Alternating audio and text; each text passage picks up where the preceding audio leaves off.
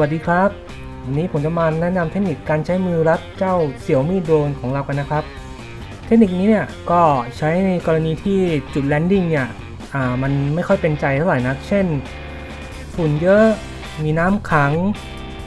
หรือเป็นพื้นหญ้าที่ถ้าลงแล้วปุ๊บตัวเรากลายเป็นเครื่องตัดหญ้าแน่เลยนะครับ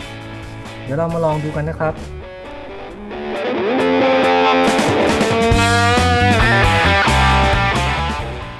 นะครับเดี๋ยวผมจะสโลว์ให้ดูนะครับ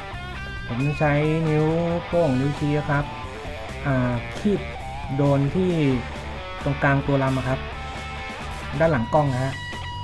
ก็แนะนำให้ทำตอนที่ปิดเครื่องอยู่นะครับ ก็คือใส่กล้องใส่แบตนะแต่ว่าปิดเครื่องนะครับ ใส่ใบพัด แล้วก็ให้ลองใช้มือจับจับคีบๆดูตามที่ผมบอกเมื่อกี้เนี่ยเพื่อที่เราจะได้รู้น้ำหนักกันรู้องศามือรู้อะไรอย่างเงี้ยครับ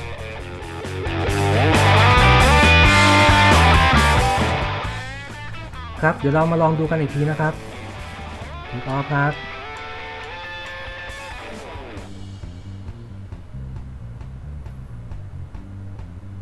นะครับถ้าเตรียมตัวก็ยืดมือไปให้สุดง้างมือรอ